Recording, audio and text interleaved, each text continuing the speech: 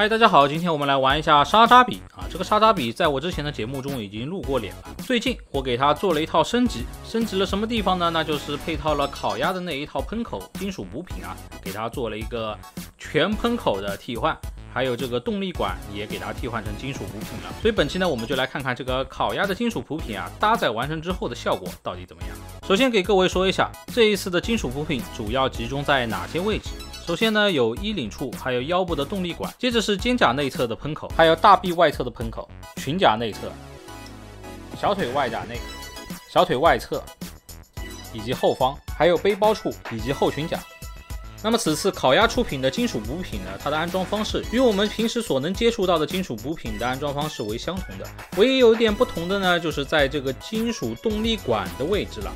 这一次。它是需要将模型的原件，也就是一根细细的轴，包括上面衣领位都要取下。这里是需要将整个轴的分件给剪下，然后再进行打磨，套上这个金属补品。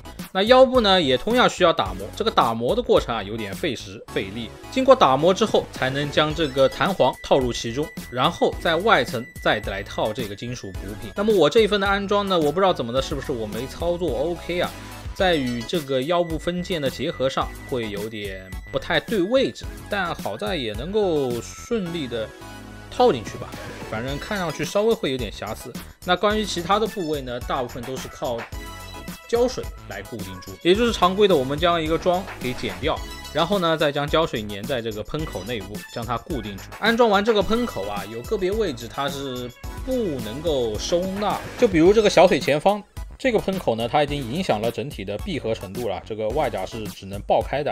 那么至于其他的位置呢，还有这个后方，后方的话它也是永远只能展开形态，并不能闭合啊。这个肩部侧方呢也有点难受啊，不太好操作。总之啊，这一套喷口上了之后，你就别指望你的沙扎比再恢复成未爆甲的形态。那么至于好不好看呢，我就觉得。每个人的审美都不同吧，按照自己的要求来。我个人是觉得吧，配我这一身消光色来说啊，一般般。